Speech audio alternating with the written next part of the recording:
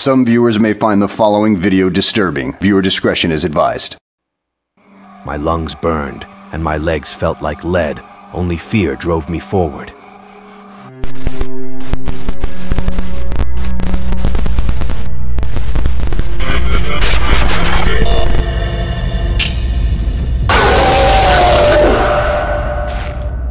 The forest was too quiet.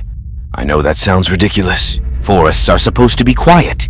They're supposed to be serene and tranquil. This just wasn't that kind of quiet. It was solemn. It was cold. It was cemetery silence, not natural silence. We'd hiked for several years by that time. I knew precisely what the forest was supposed to sound like. I was hiking with Mark when it happened. We lived in the middle of the Blue Ridge Mountains, so hiking was just a custom. It was accessible and free, perfect for two younger guys. We never traveled the same route twice without reason. This one started like most others that weren't particularly exciting. We assumed it would end that way. Our trail eventually faded, like our energy.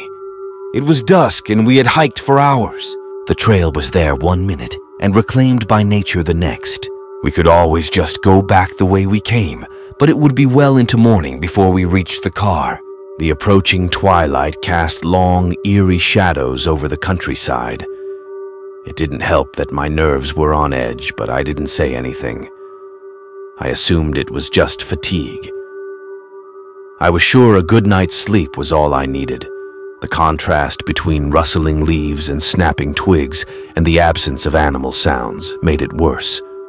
I clung to the hopes that, at any moment, we would emerge on the bald of the mountain. Then we could stop and sleep. I don't understand why this is taking so long, Mark said, his voice barely a whisper in the stillness. I was certain I had it mapped out correctly. Maybe it's just the climb, I answered. Maybe it just feels longer than it really is because so much is uphill. My words were hollow, but I didn't want him to know. It was absurd. We knew there was nothing out there to prompt any kind of fear. Our discussion briefly went back and forth. It was clear he was just as exhausted as I was. Twilight had lost its battle with night, and the countryside continued to darken. We decided to stop at the next suitable clearing and get some well-deserved sleep. We should find a place to set up camp soon, Mark said. I nodded in agreement. We scanned the area for a suitable spot. That's when we first noticed it. It was a perfectly innocent, flickering light in the distance. We both thought that was odd. We were a long way from any official trail. Few hikers left the safety or ease of the established trails. Our curiosity was piqued. We assumed it was fellow locals. There weren't many of us who traveled in these long-forgotten woods. It was always interesting to meet others from the area who were like-minded. We'd found several interesting trails just by talking with other hikers. The light grew larger and brighter as we approached. It was a little large for a simple campfire. We also begin to hear the faint sound of chanting on the breeze. The hairs on the back of my neck stood as we crept closer. Something was off. Something didn't feel right. I believed Mark sensed the same thing because he moved as cautiously as I did. We peered through the thick underbrush and abruptly stopped. It wasn't fellow hikers. We watched a circle of hooded figures gather around a roaring bonfire. Everyone's face was obscured by shadow. The air was thick with the acrid smell of burning herbs and something else. Something foul and decaying. We exchanged a quiet glance. I was certain my eyes carried the same mixture of fear and fascination as Mark's did. We had stumbled upon something sinister. If I had to guess, I believed it was a witch's Sabbath. There were six or eight individuals around the fire. There were two small objects suspended over the flames. They appeared to be small animals. There was a large object also suspended. It had to be a cow or a sheep. It was too charred to make out. They were all held in place by thick chains. The chanting grew louder and more intense. The figures swayed in unison. We watched in horrified silence as one of the witches stepped forward. We couldn't tell if any of them were male or female. They raised a gnarled staff high above their head. The fire flared. It cast grotesque, dancing shadows that writhed with a life of their own. We need to get out of here, I urgently whispered. Mark nodded. We backed away slowly, careful not to make a sound. But as we turned, I stepped on a dry branch that made a loud crack. The chanting abruptly ceased. The forest fell into an oppressive silence. My heart pounded in my chest as I heard the rustle of robes and the soft thud of footsteps approach. Run! Mark shouted. We bolted through the underbrush. Branches clawed at our clothes and skin.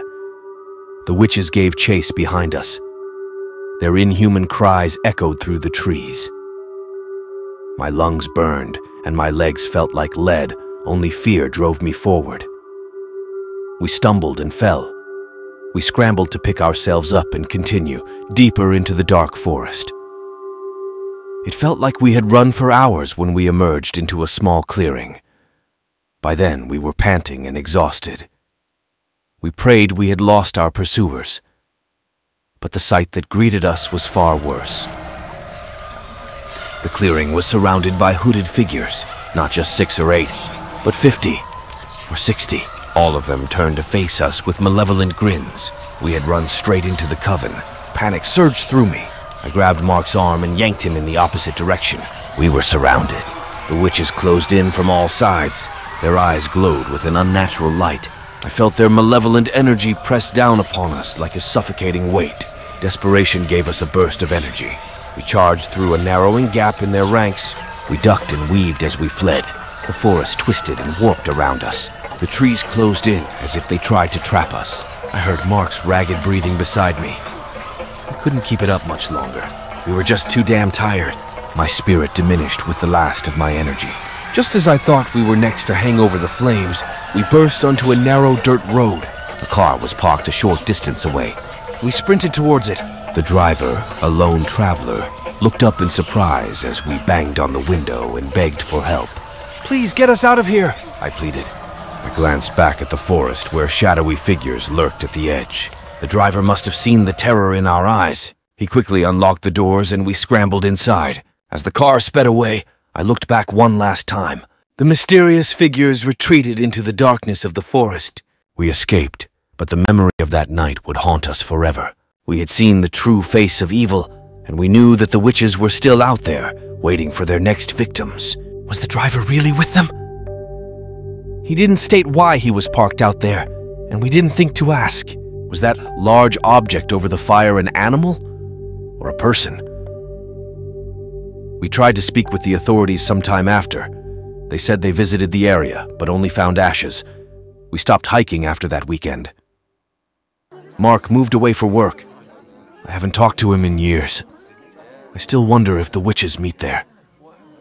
Every time someone in the area disappears, I remember that weekend and how we almost disappeared too.